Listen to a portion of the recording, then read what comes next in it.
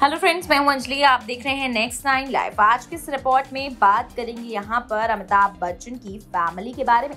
दरअसल कहा जा रहा है कि करोड़ों रुपए के कर्ज में थे अमिताभ बच्चन। दरअसल यहाँ पर आलिशान ज़िंदगी जीने वाले अमिताभ बच्चन, जिनके पास आज तीन हज़ार करोड़ की संपत्ति है तो वहीं पर नब्बे के दशक के दौरान करोड़ों रुपए के कर्ज में डूबे हुए थे और उनकी फ़िल्में भी एक के बाद एक फ्लॉप होती जा रही थी।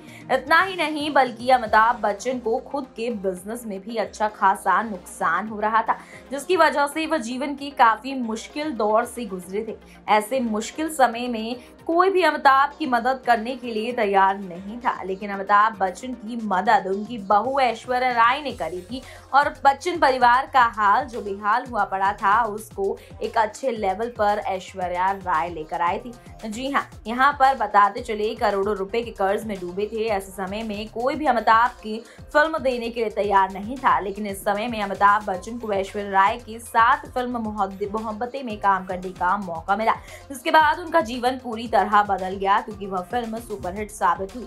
इसके बाद अमिताभ बच्चन का जीवन बदल गया, उन्हें काम मिलना शुरू हुआ। ऐश्वर्या के साथ फ़िल्म में काम करने के बाद उनका पूरा जीवन बदलता हुआ नज़र आया और इस तरीके से बच्चन फैमिली पूरी तरह अब खुश रहने लगी। तो आपको रिपोर्ट कैसी लगी? कमेंट कर ज़रूर बताइएगा। वीडियो को लाइक और शेयर करना ना भूलें। Thank you.